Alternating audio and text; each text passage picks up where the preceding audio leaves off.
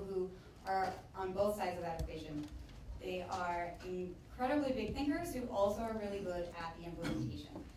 Um, and the thing they have in common is the way they do it. Um, interestingly, the tool of choice for these four is media, specifically entertainment, for really making an impact in social issues of our day. Whether that be, as Bono was alluding to, poverty, um, malaria, or homelessness and AIDS. So, um, thank you to our panelists for being here today. And let's see, maybe I can back everybody out. Um, I'd like to start by introducing each of you, and that'll give our audience an idea of who you are, and please be thinking in advance of any questions you may have. We'll have time for Q&A afterward. Thanks. So, ladies first, beginning with Buffy on the end. Buffy Shutt is Executive Vice um, President of Marketing at Participant Media, well known for making movies with a message. Uh, you certainly saw a lot of news recently about Lincoln, and less recently, Inconvenient Truth, Good Night and Good Luck, and Syriana. Uh, previously, she was president and, and co-president of marketing at both Columbia and Universal Pictures. And we know she did a remarkable job because all of her movies are in our libraries. They include Raiders of the Lost Ark, Apollo 13, Sleepless in Seattle, Philadelphia, and Jurassic Park. Uh, she has been honored by women in film with their highest honor, the Crystal Award, for good reason. Um, she's also a published author and has taught here at UCLA both marketing and production, those lucky few students. Jonathan. Jonathan here, Jonathan Shestack. I'm sorry that I'm in everybody's way. Thank you. Jonathan is a celebrated producer and autism uh, research advocate. His productions include Air Force One, Disturbing Behavior, Family Man, and Bring It On, to name a few. Uh, and I think his proudest moments are as the founder of Cure Autism Now. Unfortunately, one of his three children has autism, and that inspired he and his wife to create Cure Autism Now, raising the profile of autism through celebrity outreach and grassroots initiatives. Um, this led to incredible um, results, particularly in the federal government with the Children's Health Act of 2000 and Combat, Combating Autism Act of 2006. And he continues to serve um, on, on the board of Autism Speaks, which is uh, sort of the, the accumulation of many different autism organizations, um, including uh, so also serving on the board of some federal, state, and private research boards, like the $3 billion stem cell initiative that is um, coming out of California. Is that right? That's right. Miss anything? I'm sure. Uh, Lee Rierson to his left is Chief Operating Officer of Shine America, which produces and distributes TV and digital content and builds brands through integrated marketing. So examples of this would be Biggest Loser, The Office, Ugly Betty, and many uh, shorter programs online, original online series. He has been VP of Business Affairs at ABC TV Network has practiced law and gets that degree as a double Bruin coming out of uh, with a BA in economics and a JD from UCLA. He's also a board member of the KCRW Foundation and Hollywood Entertainment District. Thank you, Lee. And lastly but not least, Peter Samuelson's uh, experience doesn't break down very well into a single paragraph, I'm afraid. he, he's got many experiences as a film producer and serial social entrepreneur.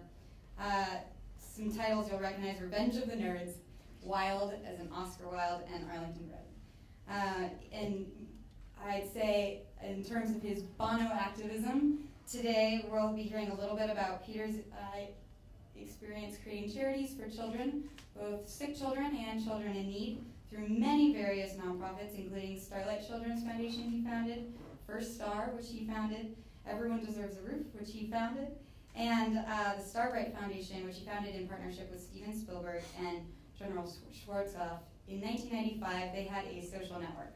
Uh, the, the idea was a virtual playground for kids who are stuck at home or stuck in a hospital and have lost the chance to interact with other children. He's a founding board member of Participant Media and has, was also the founding manager, a managing director of the Media Institute for Social Change at USC, but we'll forgive him because he's also an Anderson grad. So, the idea behind TED, right, is that we are hoping to transition these big ideas to actionable ones. So, I'd like to hear just from our panelists who've just seen the exact same video you have, also live, uh, with no preparation in advance. What what are the big ideas you heard out of Bono's speech, and what actionable ideas you see coming out of it? Sort of, what are the things that jump out at you? Well, first, showmanship. uh, many people could have stood there and done the same PowerPoint presentation, but Bono does it with a sort of a wonderful, larger than life, upside down glasses, sort of makes fun of himself. He's clearly an enormously creative, amusing, wildly intelligent man. And I think what we often forget in pro-social land is that if you're boring, they won't do it. And he does it in a way that is compelling. And I think that's a principal part of why he has been able, God bless him, to be so successful. Do you think that's because of the credibility with that's already built into him? Is it is it a combination of that and how he does it, um, and how he gets the message across? Because I think that's um, important when you're speaking to an audience and trying to get get to what they care about. Is and that, that happens in live speaking. I think it happens in entertainment media. It happens in you know any kind of news or anybody trying to influence someone. Is um, I believe, getting to really what they care about that maybe they don't realize they care about. And I think he does. I think he does that. A lot of the TED speakers do that. Yeah. Um, just building on that, I think the thing that struck me and something we spent a lot of time talking about, participant, is he showed the way forward. He showed this is happening, this is good. I think a lot of us are issue fatigued and we just want to pull the covers over our head but if you can model success and model change and show that things are changing, which he did three or four, I think, very dramatic times, I think that's a way to communicate with an audience that, as I said, I think is so bombarded with do good and be good that to show change is within our grasp and solutions are within our grasp, I think is a very smart message. Right, I agree. The message of uh, it's terrible. Uh, I don't know how we got into this situation. We may never get out of it. Uh, come on, everybody, follow me. Isn't to work. And once in a while, uh, you have to say, good job. And, uh, and periodically in a movement, you have to do it. But if you do it too much, then you become a self-congratulatory knucklehead. And that is always what I think we are balancing. Uh, you know, there was this guy, um, Eric Hoffer, who was like a philosopher, but started as a longshoreman, and he was talking about uh, big mass movements, and he says, he said they, uh, they start as a, uh, as a cause, they become a movement, and then they end up as a racket. And um, that is, um, you know, Bono, I think, has maybe cut through that in the international aid um, business, and but he's done it. If he's done it, he's done it by a process of constant self-examination, right? And it is so easy to start out doing something and you look up 20 years and become what you hate. Um, and so this self-congrat the self-congratulatory moment is great and important, and then it has to quickly be followed by self-examination. It has to be a constant process, or you'll just end up with something that you're not proud of. I thought the way that he structured it was actually very clever because he used optimism at the potential for success by showing what success literally would look like, the lines mm -hmm. going down to zero, and then he showed the, uh, the movement of those lines uh, if there is backsliding. Uh, I, I, do think that it's important we do too little of it in uh, pro-social movements uh, in talking about utopia we psychologists tell us that if you want to persuade someone to do something, uh, you actually should first have them inhabit the goal, because if they inhabit the goal, they might actually want to go there. And I thought he did that quite elegantly, but you're absolutely right. Uh, you can't only talk about that. After inspiring people with achievability, uh, you absolutely uh, have to talk realistically. And I thought he was data-driven, and, and, and that was good. But the, the overarching thing that we don't do very much, which he did, is to show this utopia thing. I remember sitting next to Buffy at the very beginning and participant. Our leader, Jeff Skoll, had to make a speech at Oxford University. We hadn't actually accomplished really anything at all, but we wanted to inspire the audience before he went on to speak. So, and we also had no budget, so we did a two-minute, uh, we asked ourselves the question, what would success look like in the eight individual areas that we are trying to affect? And we said, well, if that success existed in ten years, what would the front page of the New York Times, National Geographic, Al Ahram, and various other periodicals look like? And we went to some little place in Hollywood and said, you know, Photoshop, and we said, could you please mock us up these headlines? And interestingly, I remember the one to do with climate change was a picture of Al Gore with his chart of the rising temperatures, except we, we made it go down and we lifted the corners of it. and actually, the, the, the- it was an amazing moment because just about everybody in the Oxford audience cried and said, yes, we have to do this. You have to grasp it in order to want to go there. You know, one of the things that Anna said that struck me was he, I think he called himself a factivist.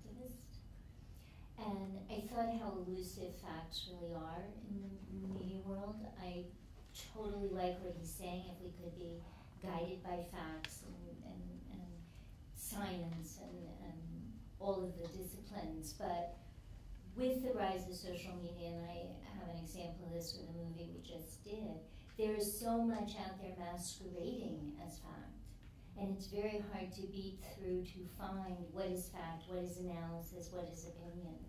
And he didn't really address that, but I do think that's a whole piece that's sort of part science denialism and then part, you know, I read it on someone's blog. Well, okay, but where's the sort of, you know, and, and my example is we did a movie um, in December called Promised Land with um, Matt Damon and John Krasinski. Pardon my back. And uh, there was an organization called, you know, Americans for Something, which was really just a front for the petroleum industry who was trying to keep people away from seeing a movie that wanted to talk about transparency in fracking. So I think this is a whole issue. We have to be scrupulous and, and, and work hard. What is a fact? But if that movie was, whether or not it was successful Oh, financially. you had to bring that up. I was, but I was thinking about it, my stepson was the editor, so we talked about it all the time. Uh, is, um, it actually seemed, in general, I think that movies don't, uh, set much of anybody's agenda. But in this case, which is, cause it's a very specific thing, uh, the mention of that movie and say, the movie with Matt Damon in it, was the door opening to every conversation that anybody wanted to have about fracking for two months. And so in that regard, it was successful. It really did allow people to talk about it, and even having like the petroleum industry taking up, bo- having bogusly titled blogs that then you can talk about. In the end, it actually, you helped create more conversation and more, uh, education about this subject. Right. I think that's right, because the, the, the, the the quote unquote facts that the petroleum companies will get out versus your movie and the PR manufacturing of the corporate, um, you know, statements. And, and you see it in the comments. So you'll see a blog post, you'll see an Mhm. article, and you'll see the comments that happen. And, and- and w- when you get that dialogue going, I think what he's, that's what he's talking about, is that the, the, the real facts get out there, and once you, once they're out there, you can't do anything about them. You see that film, and you're, and I'm, I didn't, I didn't see Promised Land, but, um, I will. Netflix. Thank you. Um, but you see a film like that and you get angry and, and, and even if it's a small audience of, of people who get angry, those people then go do something about it and they, and they infect other people or influence other people with those ideas of very important work and, and the, and when you can do it in a commercial context of running a film company Right. and, and, and have it, um, be commercially successful too, um, or in a slate of things, be commercially successful with your business, it's great, it's great work, it's really rewarding for those, of those of us who try to do To that. do that. What was interesting at the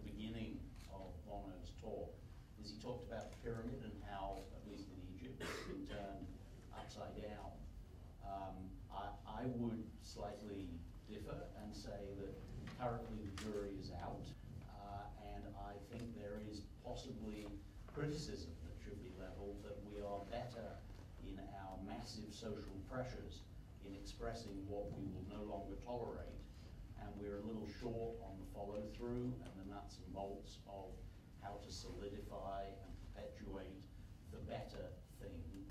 Um, having said that, I also think what was little overlooked is we tend to talk about social um, media uh, as influencing everyone, the mass audience. But there is actually a recent example just in the last few weeks of, given that we have many of our social structures are run by people who are in power, you can actually use film to make them change their minds.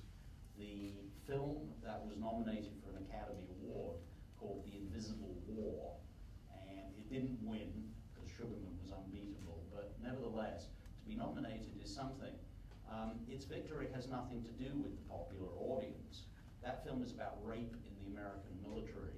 There are 200,000 women in the American Armed Forces. 19,000 of them last year complained of being raped, which probably means the real number is much larger. So it's about 10% who, alleged rape.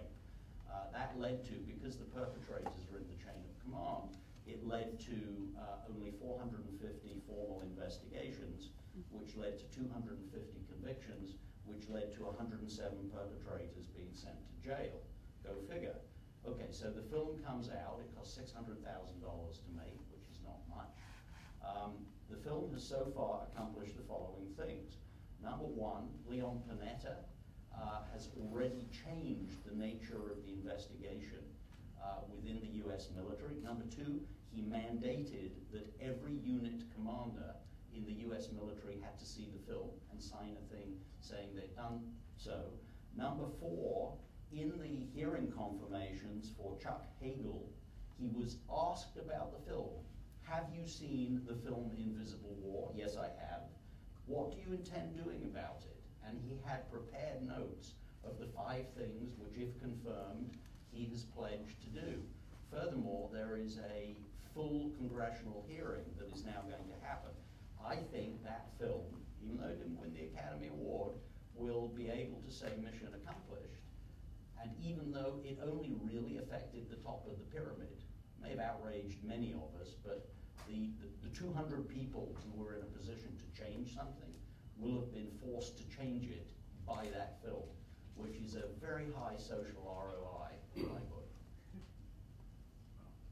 Right, and this also comes back to, in this case, it wasn't, it was very good targeting, but it reminds us again of Bono and also celebrity, and how uh, the challenge for anybody is, uh, and social media has actually just made it worse in a way, is cutting through the clutter with your message. And, um, you know, my experience when we started Cure Autism Now, which was like 20 years ago, and at that point, uh, nobody really was talking about autism or was aware of it, and there was maybe 12 scientists working in the field.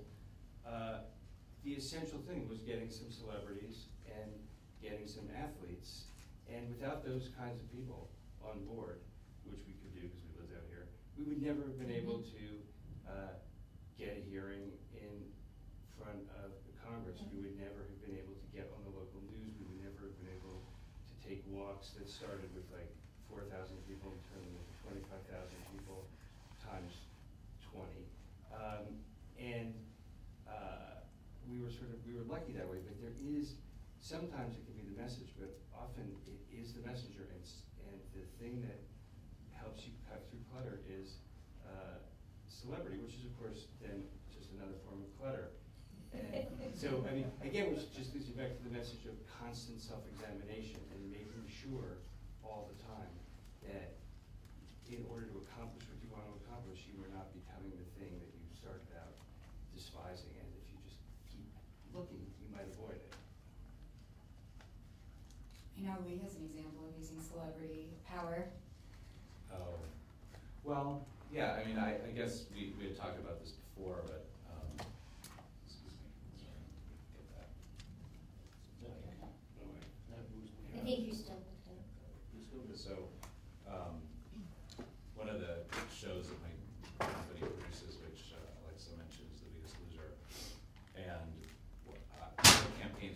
show started out as a, you know, how do you show, how do you use um, uh, television to, um, uh, to show a transformation of someone who needs to lose a lot of weight and get healthy. And a lot of networks were trying to do that, um, and production companies back when The Biggest Loser was developed. And, um, this one, man, you know, we managed to kind of crack, crack it with this show. So the show's been on for several seasons, and as that we were getting a lot of feedback from our audience about, and, from the contestants about, this is so great, you know, the, this really works, this, the, you know, the, the health transformation and what it does for people is not only great for the people who are, who we show on, on the show, but for, for, you know, many in the audience who watch it. So the show's gone on for some time. So uh, a few cycles ago, someone came up with the idea as we were working with our sponsor, General Mills, one of our sponsors, to um, tie in program that General Mills had started called Feeding America with uh, The Biggest Loser. And the idea was get, um, make people aware of food insecurity in the United States, um, but also make them aware of what we were always doing is the, the need to lose weight. And what, and the concept was, and I can't, I can't credit any particular person for coming up with this, I'm sure someone did, but the concept was the pound for pound challenge where, um, we, uh, through the show and through celebrity PSAs that we in- integrated into the show, uh, encourage people to pledge, go to a website, pledge to lose a pound or lose ten pounds or lose forty pounds. For every pound that you pledged to lose, General Mills would donate a pound of food to a food bank in your local area. So the idea was, um, there's an obesity problem in the US, there's also a food insecurity problem in the US in, in mo- in most areas. And the, that was a solution where we felt, you know, we used the power of the show to both a sponsor's message out, which, you know, kind, kind of you have to do, there has to be a little capitalism in these things to get this out there, to use the power of those corporations, but the message was on every cereal box, it was in every Cheerios box, it was on our show every week, and it got out there, and people, you know, thirteen million pounds of food were donated across the country through this, through this effort, which we, we love, the people who work for the company, they love to have that kind of thing associated with a show. A reality show isn't typically the thing that affects change.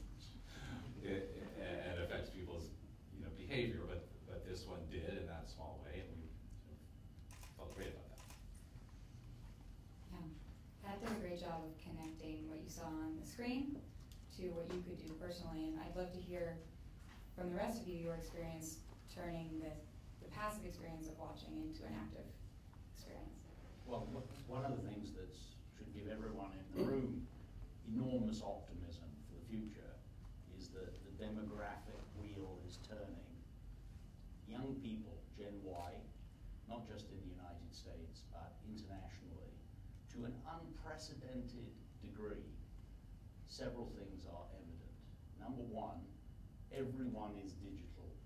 I work extensively with foster youth who are so uh, impoverished in every way and who have had such dreadful things done to them.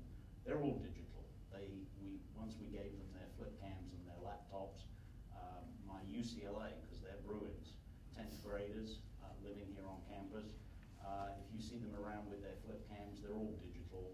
Uh, it's their most prized possession. Secondly, this generation of young Americans is the most pro-social in three generations. The number of hours volunteered per month by Gen Y is substantially higher than their parents or their grandparents. You have to go back to the 1930s to find as many hours a month. The third thing is clearly that there is a high adherence to celebrity, to role models in media, and to media itself. Therefore, the opportunity is to present pathways to social progress to all of our young people, and also to enable and encourage them through the internet, through YouTube and all the rest of it, to fight their corner, to speak and be heard, and to do it not by writing op-eds in the newspaper, which people don't read anymore, but to do it through self-generated video, through the miracles of the internet, uh, you can make something, you could be two young men in San Diego, and you can make a film called Kony 2012, and you can actually have it seen by 100 million people in eight days. That is a level of crowdsourced power that has not existed in the history of the world. So there is enormous cause for optimism. There's also cause for optimism in the effect on our corporations, because in the new Cone poll, 85% of Gen Y will change brands if there is what they consider to be a worthwhile pro-social proposition on brand B. Watch how fast the brands start paying attention to that. So suddenly one see, one sees young people with much more of two hands on a steering wheel of society with the technology and the creativity and the caring and the passion to actually make the world a better place. I think it's the new democracy. And the old uns who can't agree on, you know, where to sit in Washington, I think will fade away and we will see this new generation come together. It's also a generation because of media, I believe, and connectivity that is much less scared of other. It is a generation that has already seen into the worlds of other types and categories of people and have found them very similar in more ways than they are different, and that bodes well as well.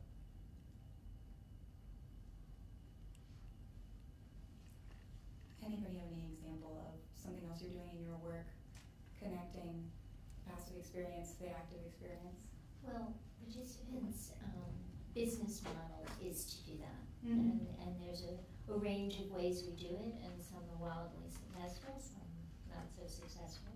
Um, there's a, just as a preface to this, because you can imagine we spent a lot of time talking about this. There's a um, social scientist professor at Columbia, Elke Weber, and she has a way of talking about this. She calls it your pool of worry. And she said there's only there's a finite amount of things each of us keeps in our pool of worry. And in the pool of worry is will I graduate from college in May? And terrorism and climate change and the parking meter that's running out. All of these things float in your pool of worry. And what people like us try to do is how can you make something important enough that it goes into someone's pool of worry? And we did a lot of um, work as a team, and there were a lot of people doing this, and it's just not participant. But around Inconvenient Truth, there's an interesting statistic. So before the movie came out, only 32% of people thought climate change was a real concern. After the movie came out, 82% said they thought it was a concern. But now that number has really eroded. And one of the reasons it's eroded, if I can connect all these dots, is the downturn in the economy. So if you look at what people are concerned about as the economy and the lack and the scarcity of jobs increases, they can't be concerned about terrorism or the envi- they can only be concerned how am I going to pay the bills, how am I going to get the rent, the rent for my home and the car payment. So what I thought was so interesting about what Bono said is he sort of tried to take all of these things that are swirling around and he made it about poverty. And I think in some ways that's a very clear message, that's something we can relate to, and all other issues actually are hooked up to that. Too poor to get an education, too poor to be vaccinated, too poor to go outside your small world. It's it's really interesting. He picked that, and I think it was right on the money um, for what's kind of going on right now. We've got about five more minutes. We could either take a question from the audience or if John, you had something that you wanted to close with. No, first I just want to say, I mean, it is, uh, Inconvenient Truth is like the shining example, uh, where you actually saw, um, a documentary, but a movie sort of completely move the, the needle in public opinion, and you could see it happen, uh, within a year's time. And then, of course, the other thing that happened its success brought out money working against it, which also worked to steadily Yes. to steadily erode. And hundred a lot of times, I mean, also, you know, I think finding your opportunity is truly important. I mean, when, um, say Bono went out, uh, initially went after, uh, debt relief, there wasn't anybody really against it. There wasn't, it was a shocking idea that you could actually like forgive someone's debts the way that companies forgive other companies' debts all the time. But we don't forget our student But- loans. But we don't do it in, in other ways, it was a shocking idea, there was no one marshaled against it initially, and was able, was able to do it. The reason we were able to make a difference, um, in autism at the time was the internet was new, we could organize parents in a way that they couldn't, that they had never been able to be organized before. And there was nobody against us. Once there, uh, but eventually, there became people against us, or, uh, when the feds didn't wanna spend, uh, a lot of money on it, they would try and foment disagreements within the group and Mhm. balkanize a group. But I think it is always like finding the moment in time when you can leap in, when everybody is sort of looking somewhere else, isn't massing against you, and push as fast and far as you can, and then know that there's gonna be pushback. But by then you've gotten a group of people who have linked arms with you and will keep, keep going. I mean, I really felt, uh, you know, the climate change a year ago was like becoming, uh, forgotten and not accepted. Now I feel like other forces have pushed back, including nature, and it's, and it's now part of the battle we're, always fighting. Before that movie, Right. nobody was fighting that I, battle. I hope that's right what you say. I was very disappointed that the two candidates never spoke the word climate change on the stump, and only recently has Obama started talking about it. But what, I think you make a really important point. There is, there are moments in life and in, in culture where, and, and I think Inconvenient Truth really benefited from that. It was a confluence of a lot of things that made people kind of pay attention. And the, particularly in our documentaries, um, we have a woman, Diane Weyermann, who spearheads that, and I call her a future teller because a documentary takes two to three years to come to the screen. And so you kind of have to make a bet on your filmmaker, but you have to make a bet that what the filmmaker is interested in is going to intersect with what the mainstream public is interested in. And just to pick up on what you said, Friday we have a documentary opening, A Place at the Table, about hunger in America. And a lot of the work that you did, we really do see there is kind of a, you know, people are ready to hear that in this country we shouldn't have fifty million people food insecure or one out of four children. Um, So we've got, That's cheery. we've got, go, go ahead. I just want Thanks, to tell Jim. you a happy thing, which should be empowering to every young person sitting here. So, and this is such a win, it's a corporate, student, academic, pro-social win. So I got CBS to um, say they would pay for PSAs. Uh, I said to the students, you can pick any subject you like, I don't care. Go find a 501c3 and come up with a cause that you want to make your 30-second piece of haiku on uh, with CBS's backing. So one of our students, Ryan Lipscomb, he comes in and he says, in my community, in African American America, gang shootings, the statistic that I'm most traumatized by is that one out of every three victims has no relationship to either gang, not the shooter's gang, not the intended victim's gang. It's just collateral damage. So I said, terrific, go find the nonprofit. He finds the nonprofit, he comes back, and I said, okay, write up your one page, because that's all you've got is 30 seconds. So he says, uh, okay, comes back, and he's written the following. I'll try, I'll try and do it in less than 30 seconds. We're tight on a middle-aged black woman's face, and you don't see her mouth move, and what you hear is her voice. And she says, you look at me when I'm talking to you. You look at me. What was he to you, seven years old, and walking down the street, and with a report card in his backpack with two A's? What was, you look at me when I'm talking to you, and you widen out, and it's a mother sitting at the funeral of her son, and it's one of those horrendous funerals where the coffin is so small that it only takes two people to lift it. And you dissolve from her to a young African American man through bars sitting in a jail cell looking at the ground. That's the end of it. It goes to black, it goes silent, and a card comes up that says every bullet kills two mothers. That's it, straight out of Ryan's twenty-year-old mind. Hmm. So, if you're a producer, the next thing you think is, now what will go wrong? Oh, we've got to get a woman who in fifteen seconds can do this. So we're in talks and conversations, who have we got at the university, anybody that's old enough that could do this, that's good enough? And we're, we're, we're, we're saying it's the Alfre Woodard kind of person. I'm sitting in a meeting with you next to me, and on the other side of me is Alfre Woodard. This is, was at the Academy on a foundation meeting. And I thought, okay, this is like, thank you. So I, in the, in the coffee break, I said, can you give me thirty seconds? And I pitched her the thing. She said, yeah, I'll do that. So Ryan, age twenty, is now gonna shoot at CBS a thirty-second PSA that they've pledged to run thousands of times nationally. It might just change the world. It might save some lives. There you've got a corporation wanting to do good and distribution power. You have young mind that cares about his world. And you've got Alfre, the industry, if you like, saying, yeah, I'll help you. How can I help? Here I am.